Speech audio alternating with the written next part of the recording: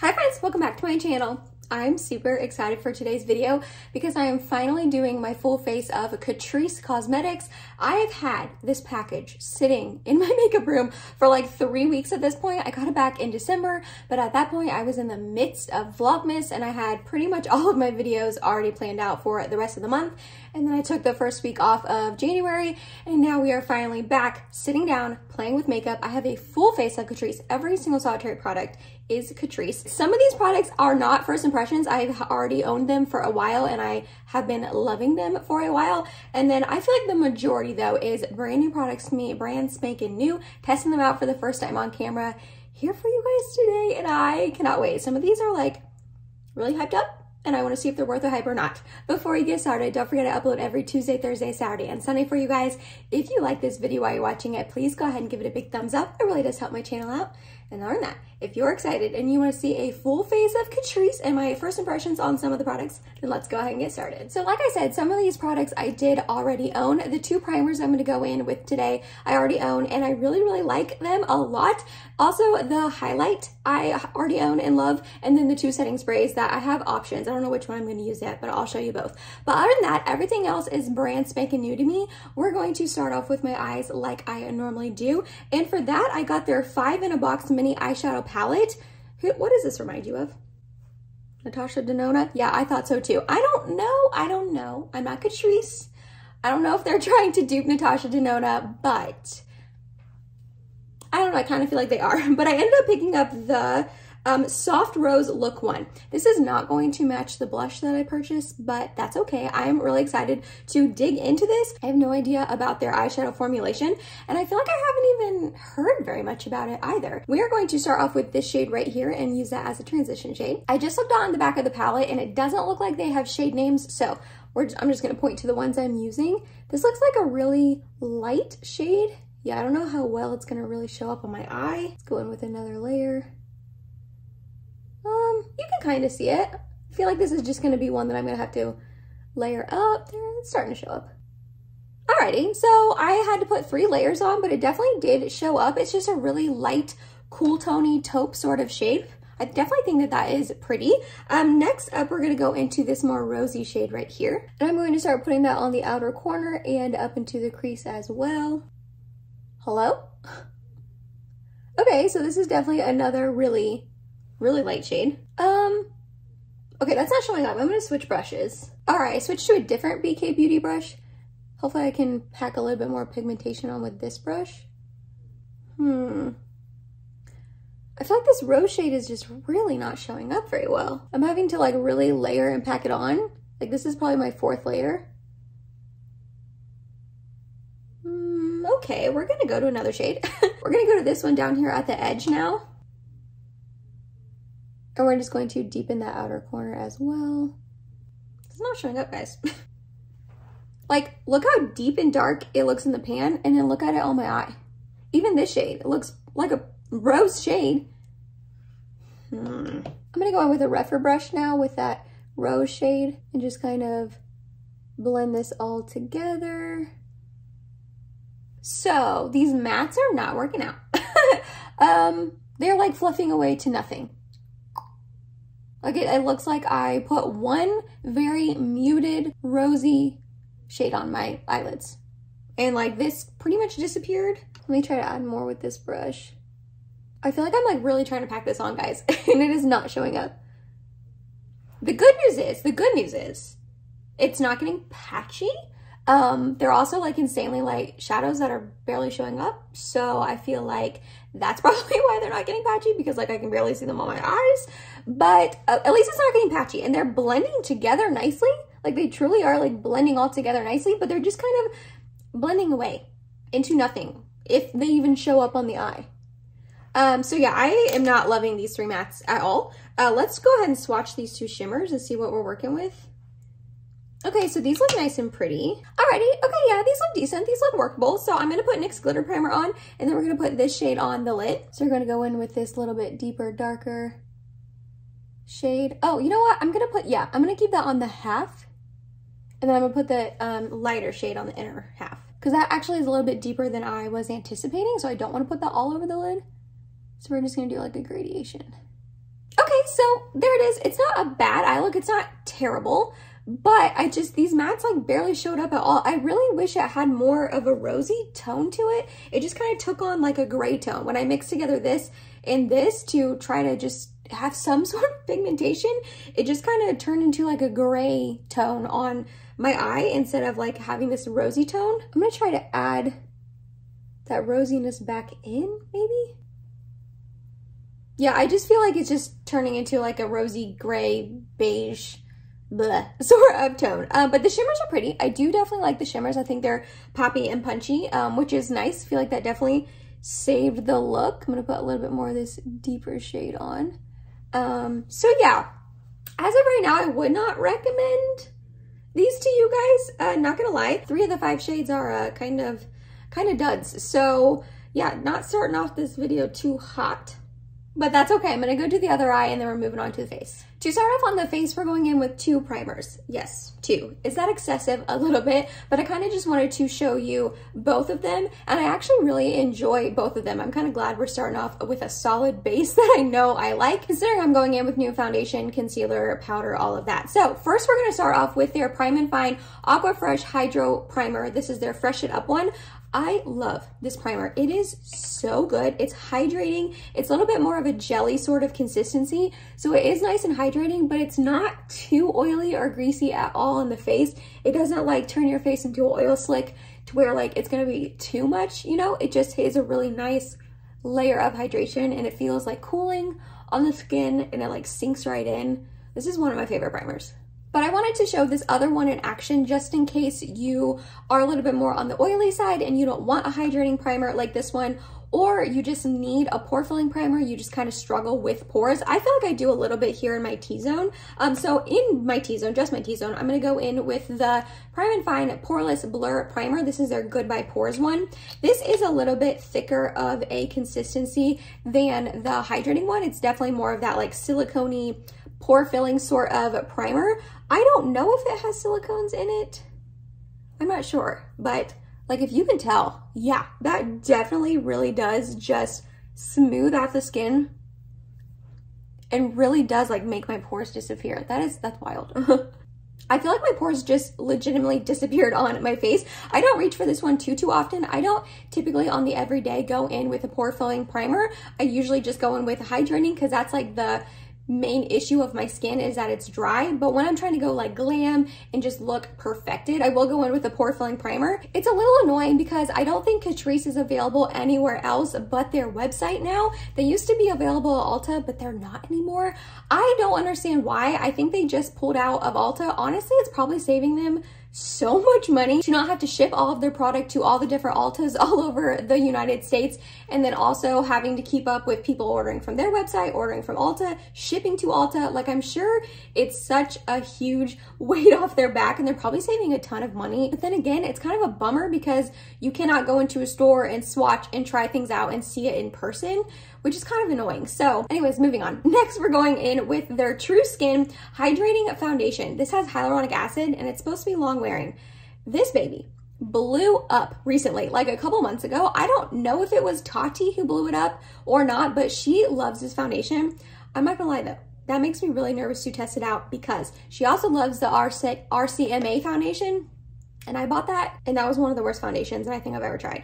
But I know a lot of other people like this foundation as well. I ended up picking up the shade 002 Neutral Ivory. It says on the back, true skin but better. Hydrating foundation with hyaluronic acid and a watermelon seed oil leaves a perfectly even skin tone and natural matte finish. Medium to high coverage with a comfortable skin feeling. Dermatologically approved. That's a little confusing to me that it's a hydrating foundation with a matte finish. I like the bottle. It's glass and sturdy and it comes with a pump. So weird. I haven't even like pumped this out. I have no idea if it's even gonna match.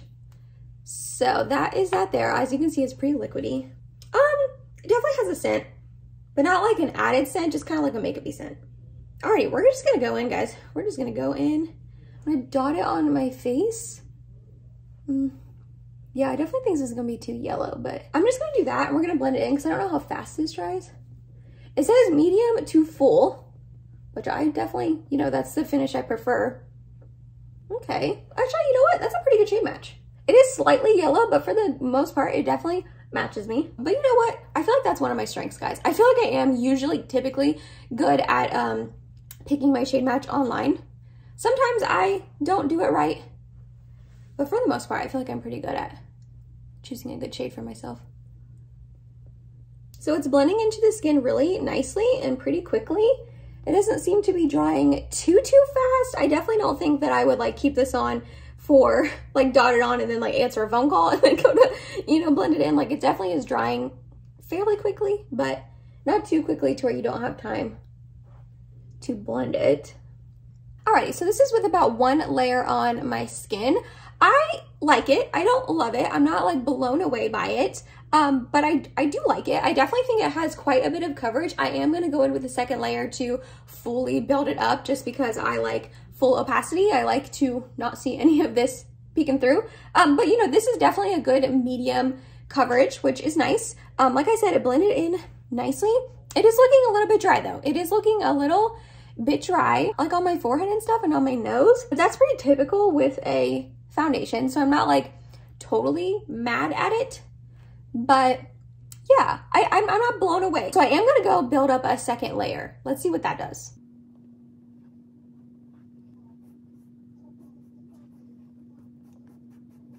Okay, so here it is all blended in with two layers. I definitely think that that helped the coverage, but it also helped emphasize a little bit of the dryness.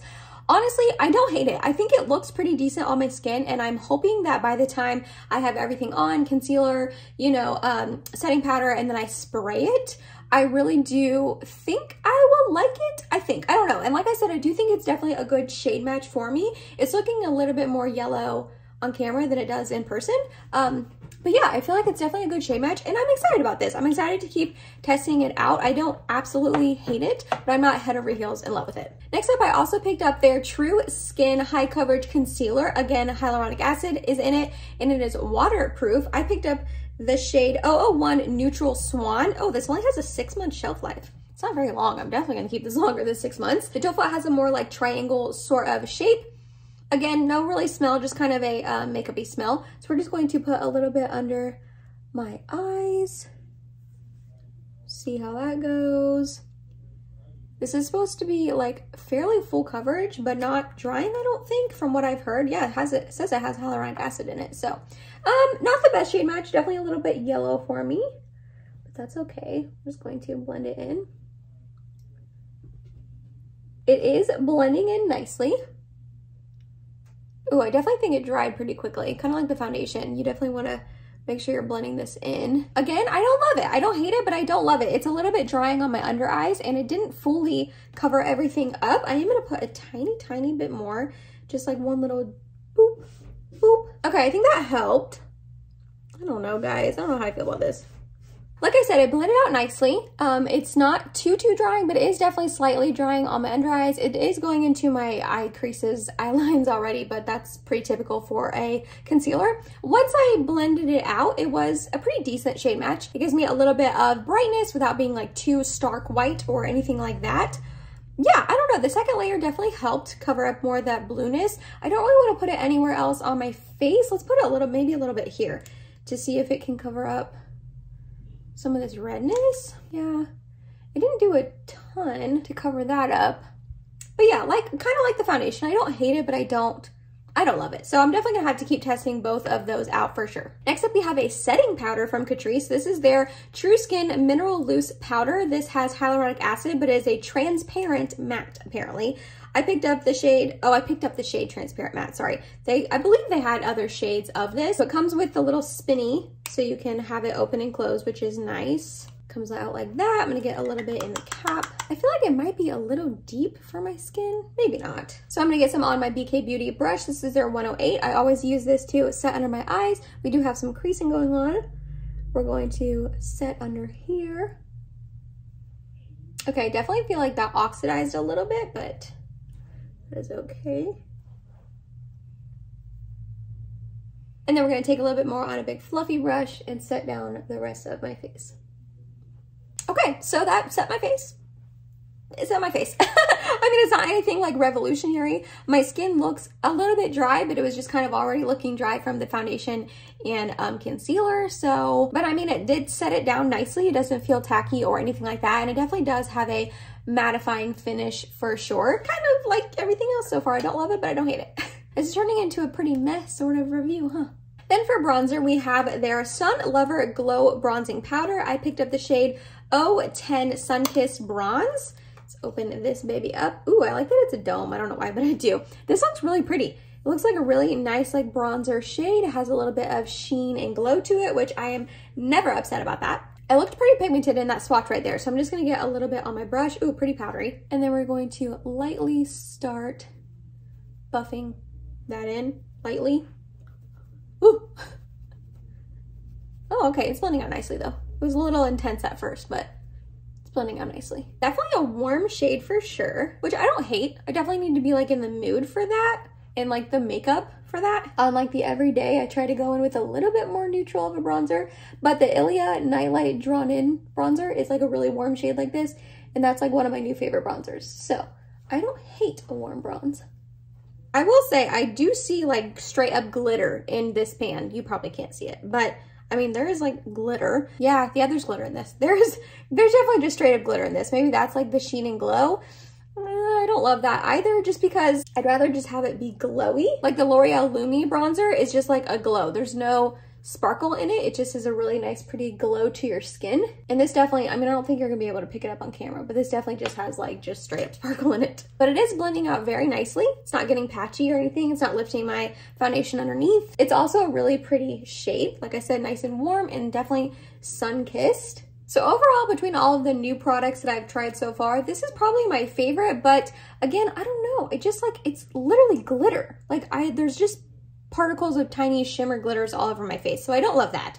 But next up, we're going to put on highlight. This is a product that I know I love. This is their More Than Glow highlighter in the shade Supreme Rose Beam. I got this into me in PR through Octoly, and it is literally become one of my favorite highlighters ever. It's so beaming and blinding and beautiful on the skin. So we're just going to apply, oh yeah.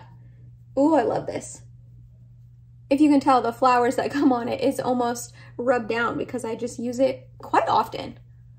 And it's so affordable.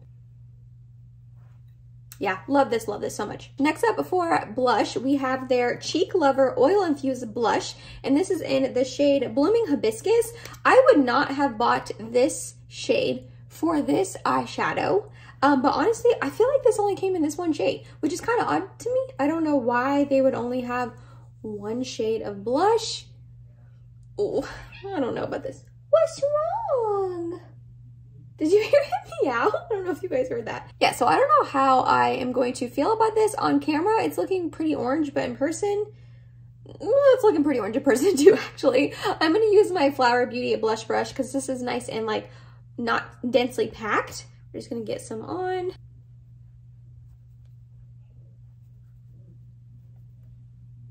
Okay. Very pigmented. Very pigmented. Definitely not going to go in with any more. I'm just going to try to diffuse what I already have on my brush. I don't hate it. I don't hate it. It definitely has a very like sheen to it, like a gold shift, um, which you can definitely tell when I'm holding it up to the camera in the pan. I'm trying to decide my thoughts on this. I, I don't, I keep saying the same thing. I don't hate it, but I don't love it, but it's true. Like this is, it's a pretty blush, um, but it definitely has some like a lot of sheen luminosity to it. But the actual like orange poppy punchy color is nice and pretty.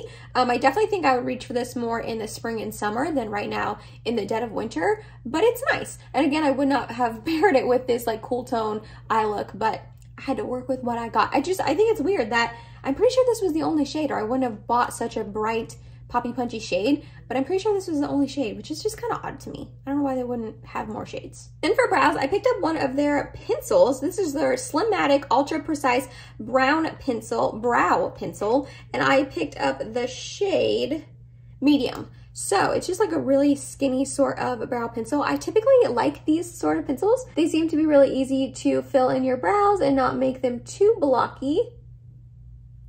It's a pretty good shade match for me as well. A little warm, but nothing terrible.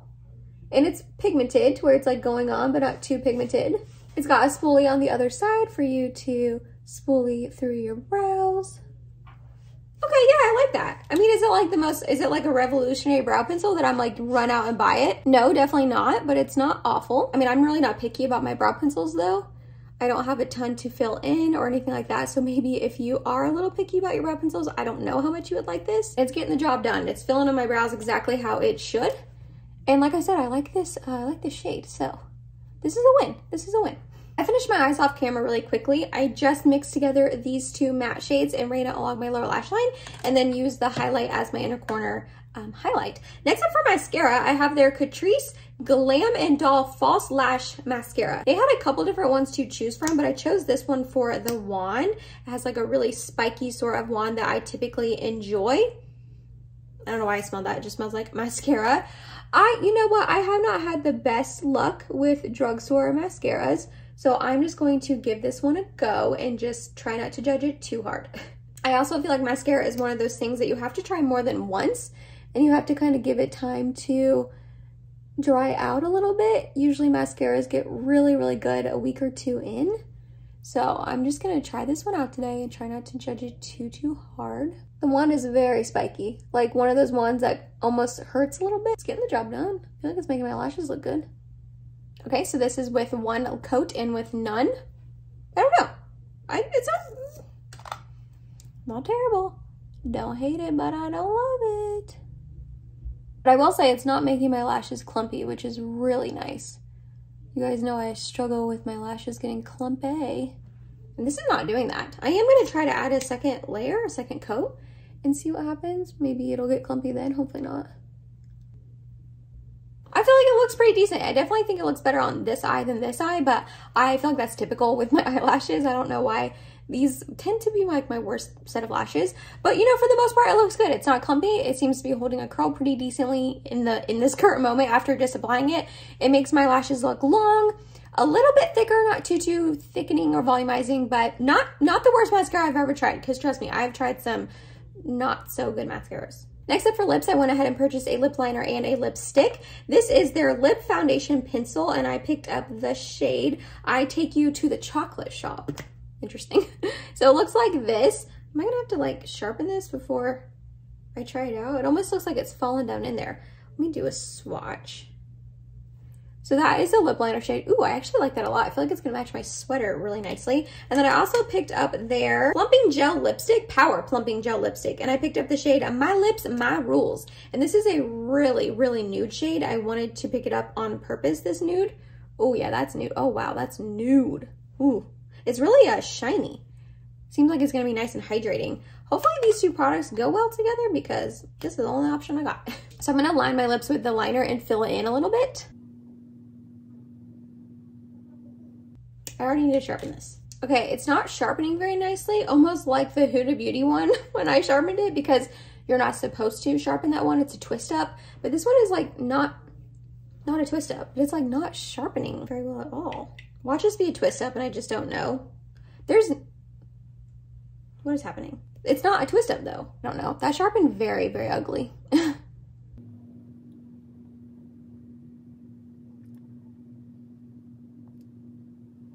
So I really like this shade a lot. It glided on my lips very nicely as well. I got a big old chunk right there though. I don't know. I don't know about this, guys. All right, we're, we're gonna try the lipstick.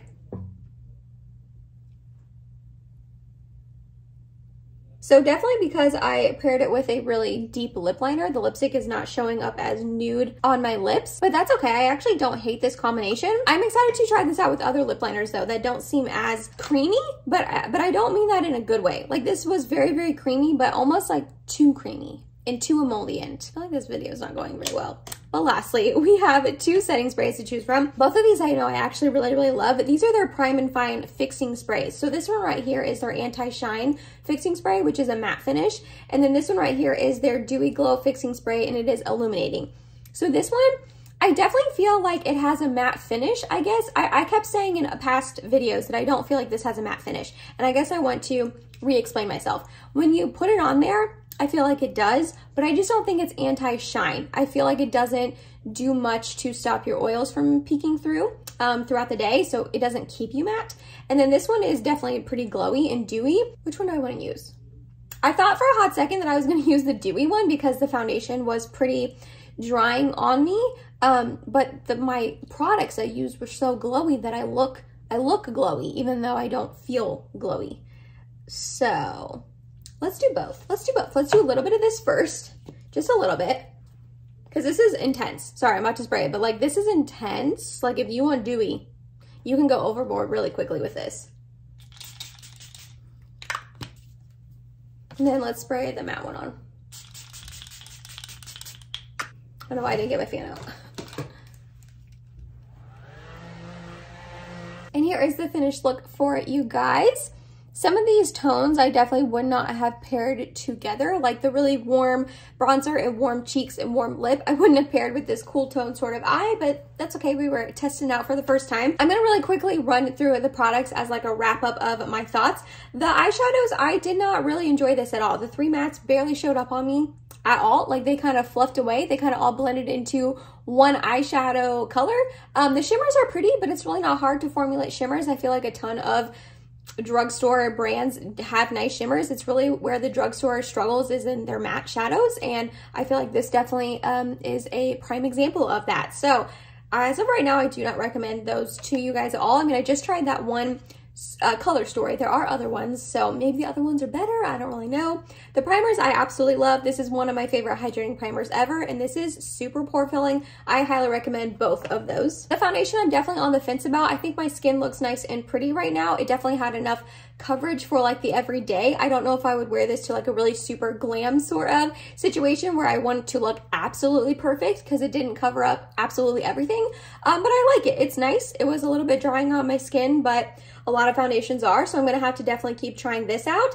This one I definitely liked least of the two. I like the foundation more. This was okay. It's a little bit drying on my under eyes and I definitely still see quite a bit of my blueness peeking through. So again, I'm going to have to keep you know, testing them out. The bronzer, it blended out very nice and pretty, and it is a really nice, warm sort of shade, but it's got those glitters in it. I don't understand why. You can't see it, like, definitely on camera, and even in person, you can't really see it, but if you, like, get really up close, it's literally just my face is covered in like really tiny glitters. So I don't love that, but it is a pretty tone and it blended out nicely. I already knew I loved the highlight. It's absolutely stunning. It's a great drugstore option if you just want a really blinding glowy highlight. It also comes in a more of a gold shade if you like that better. Oh, I forgot about the setting powder. Um, This was okay, kind of like the other products. I didn't love it. I didn't hate it. That's like the theme of this video. I didn't love it. I didn't hate it. They're just okay products, I guess.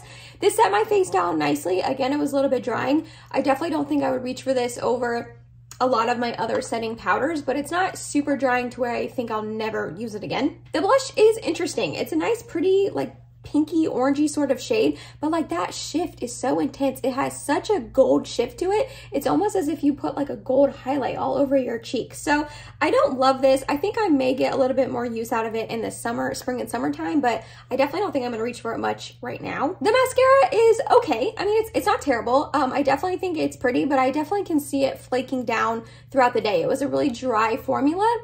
So I have a feeling it's gonna flake throughout the day, but we shall see. I feel like it's already kind of flaking a tiny bit. Um, and I just applied it a couple minutes ago. So again, don't love it, don't hate it. Brow pencil was okay. It's just a brow pencil. There's a million brow pencils out there that are like this, that are a couple dollars, that are good, not great, not revolutionary. They're just brow pencils. It's kind of hard, I feel like, to mess up a brow pencil. Um, so yeah, I liked it. I'll definitely, you know, get my use out of it.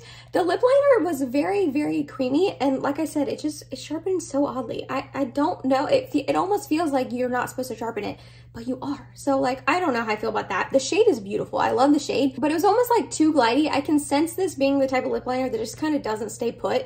I don't know, I'll keep trying it out. And the lipstick was interesting. It almost had like no pigmentation to it. Like you almost cannot see it at all. So I feel like this is gonna be a type of lipstick that really takes on whatever lip liner you put it over, which I don't love. I was really hoping that it would be like a really nice tan, cool tone, light lipstick. So I could use it as an ombre sort of lipstick, but it just doesn't have enough pigmentation. But it's shiny and it's comfortable and pretty on the lips. So can't really hang on it too much. And then the setting sprays, where's the other one? I actually really do love these setting sprays. I've already gone through one of their fixing sprays in the past, and both of these are halfway done, and I plan on finishing up both of these, and I have a backup of this one. So I love their setting sprays. So all in all, this was kind of a duddy video. I'm not gonna lie. I definitely don't feel like I fell in love with any of these new products. The products that I love are the ones that I already own from them. All the new products I tested out, I did not fall in love with, which I'm really bummed about because Catrice is such a nice, affordable brand, but I'm definitely gonna keep trying like these products out because I've heard good things about them and I'm like, okay, I've heard good things. Oh, why don't I like absolutely love them? You know what I mean? But again, the motto, the theme of the video, I didn't love it, but I didn't hate it. So none of these were absolutely terrible to where I like, I'll never reach for them again. And I'm like, do not, do not buy them.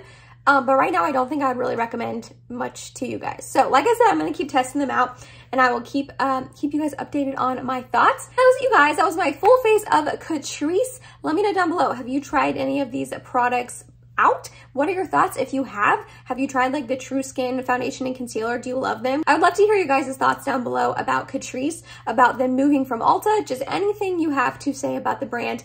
I want to know down below. If you made to the end of this video, thank you so much. You're awesome. I love you. Please subscribe if you have not yet, and I hope to see you in my next video. Bye, guys.